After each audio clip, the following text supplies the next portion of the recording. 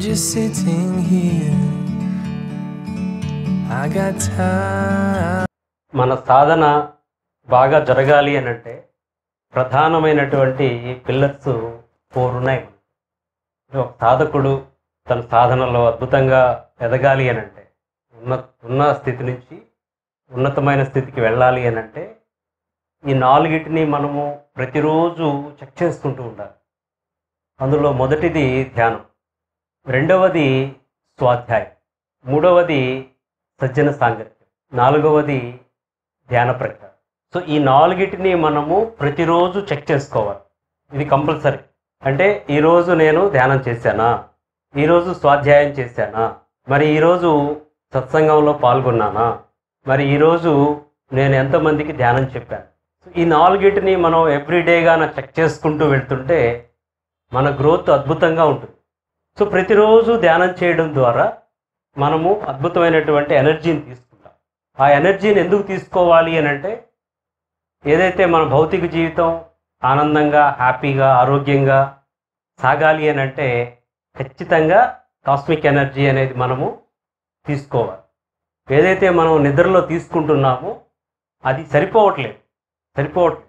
So కాబట్టి ధ్యానం చేయడం ద్వారా నిద్రలో పొందేటువంటి శక్తి కంటే మూడు రెట్లు అదనపు ప్రాణశక్తిని మనం తీసుకుంటున్నాం కాబట్టి మన భౌతిక జీవిత కార్యకలాపాలకు అన్నింటికీ పోను ఆత్మకి కొంత ఆహారం అందుతుంది దాంట్లో.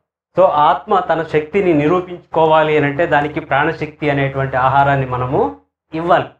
సో ప్రతిరోజు ధ్యానం. ఎవరి వయసు ఎంతో అన్ని నిమిషాలు ఖచ్చితంగా రోజుకి రెండు సార్లు చేయాలి. రెండు సార్లు.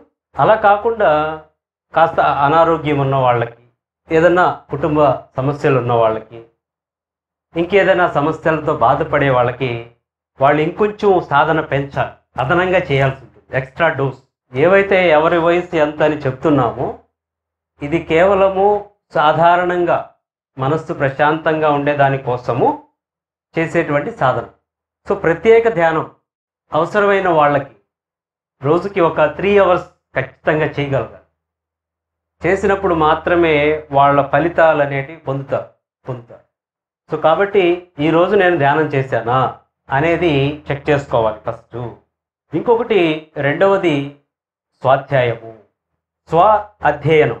అంటే మనల్ని మనం చెక్ చేసుకోవడం. ఈరోజు నేను ఎంత మారాను? ఈరోజు నేను ఎంత జ్ఞానం పొందాను? ఈరోజు నేను ఏం నేర్చుకున్నాను? ఈరోజు నేనేమి ఆచరించాను? అనేది ప్రతిరోజు చెక్ చేసుకోవాలి. ఒక సెల్ఫ్ చెక్ అనమాట స్వీయ అధ్యయనం. ఈ స్వాధ్యాయానికి ఇది ఒక ఫేస్ అయితే నెక్స్ట్ ఇంకొక ఫేస్ పుస్తకాలు చదవడం. అంటే ఎంతోమంది వాళ్ళ ఆధ్యాత్మిక ప్రయాణాన్ని వాళ్ళ ఆధ్యాత్మిక అనుభవాలని ఆధ్యాత్మిక జ్ఞానాన్ని చక్కగా పుస్తక రూపంలోకి తీసుకొచ్చి వాటిని మనకు అందించున్నారు. అవన్నీ చదవాలి. మరి బత్రి గారు ఒక లక్ష పుస్తకాలు చదివారు. మరి మనం కూడా చదవాలి. అలా కాదండి నేను ధ్యానం ద్వారానే జ్ఞానాన్ని పొందుతాను ధ్యానం ద్వారానే ముక్తిని పొందుతాను అని అంటే పొందొచ్చు. డౌట్ లేదు వస్తుంది. బట్ టైం టేకింగ్ ఈ జన్మ సరిపోదు. ఇలాంటి జన్మలు ఎంతో ఎత్తితే కానీ కేవలం స్వీయ అనుభవాల ద్వారా మనం జ్ఞానం పొందడం అనేది ఇట్స్ టైం టేకింగ్. ఆల్రెడీ వాళ్ళ జ్ఞానాన్ని పొంది చెప్పేస్తున్నారు మార్గం చెప్పున్నారు మనం. అలా ప్రత్యక్ష జ్ఞానము పరోక్ష జ్ఞానము ఇజ్ ఈక్వల్ టు సంపూర్ణ జ్ఞానం. ప్రత్యక్ష జ్ఞానము అని అంటే మనం ఏదైతే ధ్యానం ద్వారా జ్ఞానాన్ని పొంది వాటిని ఆచరించడం ద్వారా అనుభవం పొందుతామో దాన్ని ప్రత్యక్ష జ్ఞానం అంటాం. ఇది అవసరం. అలాగే పరోక్ష జ్ఞానం. ఏవైతే మహానుభావులు వాళ్ళ యొక్క మహా అనుభవాలు ఏవైతే ఉన్నాయో వాటన్నిటినీ మనము చదవడం ద్వారా చదవడం ద్వారా చక్కగా ఆ జ్ఞానాన్ని మనం పొంది వాటిని మన జీవితంలో ఆచరించినట్లయితే మనం పొందేటువంటి అనుభవము ఇది పరోక్ష జ్ఞానము. ఇవి రెండింటినీ ఎప్పుడైతే మనం తీసుకోగలమో అప్పుడు సంపూర్ణ జ్ఞానం మనకు అందుతుంది. మోక్ష ప్రాప్తి ఈజీగా కలుగుతుంది. అందుకనే పత్రి గారు ఈ ఫోర్ పిల్లర్స్ని మనకు పర్ఫెక్ట్గా అందించాడు. ఒక సాధకుడు. ధ్యానము స్వాధ్యాయం. ఇకపోతే మూడవది సజ్జన సాంగత్యం. ఇది చాలా చాలా చాలా ఇంపార్టెంట్. ఒక సాధకుడికి ఒక మౌలికమైనటువంటి ఫార్ములైన్ సజ్జన సాంగత్యంలోనే మనకు చాలా మేలు జరుగుతుంది. అంటే సజ్జన సాంగత్యము అంటే ఎవరైతే సత్యం కోసం తపిస్తూ ఆ సత్య శోధనలో ఆ సాధనని కొనసాగిస్తూ ఉంటారో వాళ్ళ మధ్య మనము కాసేపు గడపడం. అలా గడపడం ద్వారా ఏం జరుగుతుంది అని అంటే మనలో ఉన్నటువంటి ఆ అహంకారం అనేది పోతుంది.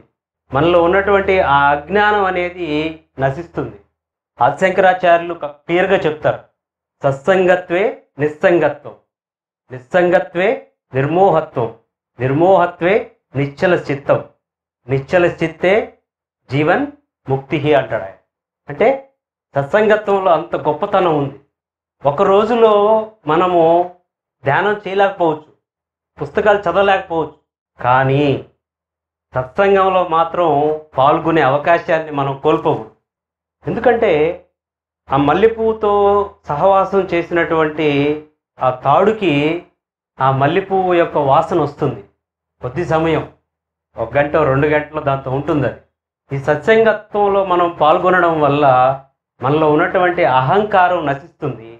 మనలో ఎక్కడన్నా బ్లాక్స్ ఉంటే అవన్నీ తొలగిపోతాయి. కనీసం మనం ఒక సత్సంగం జరిగేటువంటి ప్రదేశానికి మనం వెళ్ళలేకపోయినా ఈరోజు మనకున్నటువంటి ఒక అద్భుత అవకాశం ఏంటంటే పిఎంసి ఛానల్. ఆ పిఎంసి ఛానల్లో వచ్చేటువంటి చక్కటి ప్రవచనాలు మనం వినడం ద్వారా మన సత్సంగత్వం అయిపోతుంది ఆ రోజు. ఎంతోమంది దివ్య ధ్యాన అనుభవాలు వస్తున్నాయి దాంట్లో. పత్రిజీ గారి ప్రసంగాలు వస్తున్నాయి. మన మాస్టర్స్ ప్రసంగాలు వస్తున్నాయి. వీటన్నిటిని చక్కగా అక్కడ వినడం ద్వారా ఆ రోజుకి ఆ సత్సంగం అనేది అక్కడ అవుతుంది. వీలైతే ప్రత్యక్షంగా మనం వెళ్ళి ఆ సత్సంగంలో పాల్గొనడం ఒక పద్ధతి. వీలు కాని పరిస్థితుల్లో ఆ పిఎంసి ఛానల్ అయితేనేమి. సో వీటన్నిటిని మనం చూడడం ద్వారా ఆ సత్సంగాన్ని మనము ఆ రోజుకి కంప్లీట్ చేయాలి. ఇది చాలా ఇంపార్టెంట్. వ్యాస భగవాన్ కూడా ఈ సత్సంగత్వం గురించి అద్భుతంగా చెప్తాడు ఆయన ఇకపోతే నాలుగవది ఫోర్త్ పిల్లర్. ఇది చాలా కూడా ఇంపార్టెంట్. అంటే మనం అద్భుతంగా ఎదగాలి అని అంటే ఏంటి? ధ్యాన సేవ. ధ్యాన ప్రచార సేవ. ఏంటి ధ్యాన ప్రచార సేవ అంటే? ఏదైతే ధ్యానంలో నీవు పొందావో ఏదైతే ధ్యానంలో నీవు అనుభూతి చెందావో ఏ లాభమైతే నీవు పొందావో దాన్ని చక్కగా అందరికీ చెప్పడము. ఏమండి? ఇది ఎంత సులభము? ఒక మంచి మాటని పది మందికి చెప్పడం అనేది ఎంత ఈజీ? శరవణ స్టోర్లో ఆఫర్లు ఉన్నాయంటే మనం అందరికీ పోయి చెప్తాం కదా. లేదా పలానా అంగట్లో ఒకటి కొంటే ఒకటి ఫ్రీ ఇస్తున్నారు అని అంటే ఎదిరింటి వాళ్ళకి పక్కింటి వాళ్ళకి వెళ్ళి చెప్తున్నాం మనం. వాళ్ళు చెప్పమని చెప్పకపోయినా మనం వెళ్ళి చెప్పి తీసుకెళ్తున్నాం. అలాంటిది ఏదైతే మనము పొందేటువంటి ఆనందము ధ్యానం ద్వారా మన జీవితాన్ని ఎలా మార్చుకున్నాం మన జీవితంలో ఏది లాభం పొందాం అనేది పక్క వాళ్ళకి చెప్పడం. మొదటి రోజే నువ్వు సాధకుడివి. తర్వాత రోజు నుంచి నువ్వు బోధకుడివి. అంతే. సో ఈ స్వేచ్ఛని మనకు మన సొసైటీ కల్పిస్తుంది.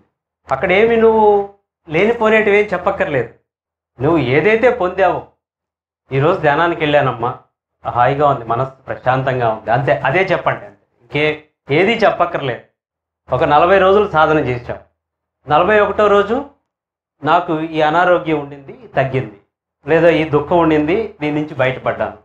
అంటే మనం ఏదైతే పొందామో ఆ లాభాన్ని అందరికీ అందించడము. ఓ క్లాసులు చెప్పాల్సిన అవసరం లేదు. మీరు పొందిన అనుభవాల్ని అందరికీ చెప్పడం అంతే. సింపుల్. సో ఇలా ధ్యాన ప్రచారం అనేది ఈ సేవ అనేటువంటిది మనము ఎంత చేస్తే మనంత ఎనర్జీ అంత ఎక్కువగా పెరుగుతుంది. మనం ఒక పది మందికి మన అనుభవం చెప్పాము అని అంటే మన లోపల పదకొండు మంది ఎనర్జీ ఫుల్ అవుతుంది. గుర్తుపెట్టుకోండి ఇది సీక్రెట్. నువ్వు ఎంతమందికి ధ్యాన సేవ చేస్తే అంతమంది శక్తితో నీవు కనెక్ట్ అవుతావు. కాబట్టి ఈ నాలుగు పిల్లర్స్ ఈ నాలుగింటిని మనము ప్రతిరోజు చెక్ చేసుకుంటూ ఉన్నట్లయితే మన సాధన అద్భుతంగా జరుగుతుంది. ప్రతిరోజు చెక్ చేసుకోవాలి మనం. ఈరోజు నేను ధ్యానం చేశానా లేదా? ఎస్ చేశాను. టిక్ మార్క్ నెంబర్ టూ ఈరోజు పుస్తకం చదివానా లేదా? కనీసం రోజుకి ఒక పేజీ అయినా చదవ చదవలేని వాళ్ళు టైం లేని వాళ్ళు ఎన్నో పుస్తకాలు ఉన్నాయి సో బుక్లో ఒక రెండు పేజీలో మూడు పేజీలో ఒక పేజీయో ఎంతో కొంత మనము చదవాలి. ఈరోజు నేను చదివానా లేదు? ఎస్ చదివాను. టిక్ నెక్స్ట్ సజ్జన సాంగత్యం సో ఈరోజు నేను సజ్జన సాంగత్యంలో పాల్గొన్నానా లేదా? అంటే డైరెక్ట్గా పాల్గొని ఉంటే ఓకే లేదా పిఎంసి ద్వారా సో ఈ క్లాస్ విన్నాను నేను ఈరోజు ఎస్ టిక్ చివరిగా ధ్యాన సేవ చేశానా లేదా? ఎవరికో ఒకరికి. మనము పక్కింటికి ఎదురింటికి బంధువుల ఇళ్ళకి వెళ్ళి పిచ్చాపాటి మాట్లాడుతూ ఉంటాం. అంతే కదా? ఏవి ఈ చీర ఎప్పుడు కొన్నావు? మీ మా నగలు ఎలా ఉన్నాయి? అవి ఇవి ఇవన్నీ మాట్లాడుతుంటాం. ఇవన్నీ మాట్లాడే బదులు వాళ్ళకి ఒక మంచి మాటని మనం అందించాలి. ఇదిగో ధ్యానం అనేది ఒకటి వచ్చింది. నేను చేస్తున్నా బాగుంది. మీరు చేయండి ఎలా చేయాలో మీరు చెప్పండి వాళ్ళకి. ఒక పది నిమిషాలు కూర్చొని పెట్టి అక్కడ చెప్పడం. ఇలా చేయడం ద్వారా ఇలా చేయడం ద్వారా ఎంతోమంది దీనికోసం ఎదురు చూస్తూ ఉన్నారు. ఫ్రెండ్స్ గుర్తుంచుకోండి. ఒక్కొక్కసారి ఏం జరుగుతుంటుందంటే మీకంటే ముందు ఒక పది మంది మాస్టర్లు పోయి వాళ్ళకి చెప్పుండొచ్చు. అమ్మా ధ్యానం చెయ్యి లేదా అయ్యా ధ్యానం చెయ్యి అని. వాళ్ళు వినరు. ఎప్పుడైతే మీరు వెళ్ళి ఆ మాట చెప్తారో వాళ్ళు వెంటనే ధ్యానం స్టార్ట్ చేస్తారు. అంటే మీ పిలుపు కోసం వాళ్ళు ఎదురు చూస్తూ ఉంటారు అక్కడ. అందుకని అందరికీ చెప్పుకుంటూ పోవడమే మన పని. అందరికీ చెప్పుకుంటూ వెళ్ళాలి. పాంప్లెట్ ఇచ్చి ధ్యానం చేయమనాలి. కాళ్ళు పట్టుకొని శాఖహారిగా మారమనాలి. ఇది మన నినాదం. చెప్పడం అంతే. ఎక్కడ బలవంతం అనేది లేదు. గుర్తుంచుకోండి. మనం తెలియజేయడం వరకే మన పని. చెప్పడం వరకే మన పని అంతే. చేయడం అనేది వాళ్ళ ఇష్టం. ఈ భూమి మీద ఆ స్వేచ్ఛ ప్రతి మానవుడికి ఉంది. ఎవరిని మనము కంట్రోల్ చేసి భయపెట్టి బాధ పెట్టి ఈడ్చుకొని వచ్చి కూర్చొని పెట్టాల్సిన అవసరం లేదు. అంటే చాలా మందిలో నేనేం చెప్తానులే. నేను చెప్తే వాళ్ళు వింటారా? చెప్పడం నా వల్ల కాదు. ఇవన్నీ ఉంటాయి. ఒక్కసారి వీటన్నిటిని పక్కన పెట్టి మీరు చెప్పి చూడండి. అంటే వాళ్ళ జీవితాలు మారేదానికి మనం ఒక అవకాశం ఇస్తున్నాం వాళ్ళకి. ఇస్తున్నాం వాళ్ళు. మనం చెప్పడం ద్వారా వాళ్ళకి దీనివల్ల ఎటు ఎలాంటి కీడు జరగదు. వాళ్ళు అందుకుని సాధన చేసి కొనసాగిస్తే వాళ్ళకి మంచి జరుగుతుంది హ్యాపీ. వాళ్ళు అందుకోలేదు ఓకే అలానే ఉంటుంది నో ప్రాబ్లం. కాబట్టి ఈ ధ్యాన ప్రచార సేవ అనేది వెరీ వెరీ ఇంపార్టెంట్. ప్రతిరోజు ప్రతిరోజు. ఎవరికో ఒకరికి చెప్పండి అంతే. ఒక రెండు పాంప్లెట్లు బైక్లో పెట్టుకోండి. పోతూ ఉంటాం ఒక మిత్రుడు తగులుతాడు కనిపిస్తాడు. వాళ్ళకి ఒక పాంప్లెట్ ఇవ్వండి. చాలా అయిపోయింది ఆ రోజు ధ్యాన ప్రచారం అయిపోయింది. పాంప్లెట్లు ఎప్పుడు మన బండిలో ఒక నాలుగైదు ఉండాలి బైక్లో లేదా బ్యాగ్లో. సో మనము ఈ నాలుగు ప్రతిరోజు చెక్ చేసుకుంటూ ఉండాలి. ధ్యానం ద్వారా శక్తి వస్తుంది. స్వాధ్యాయం ద్వారా జ్ఞానం వస్తుంది. సజ్జన సాంగత్యం ద్వారా అహంకారం పోతుంది. ధ్యాన సేవ ద్వారా మనకు అద్భుతమైనటువంటి శక్తి ముక్తి అన్నీ ఈజీగా వస్తాయి. కాబట్టి నాలుగు చాలా ఇంపార్టెంట్. ప్రాథమికంగా కొత్త వారు గుర్తుంచుకోవాల్సినటువంటి విశేషమైనటువంటి అంశాలు ఈ నాలుగు. ఓకే.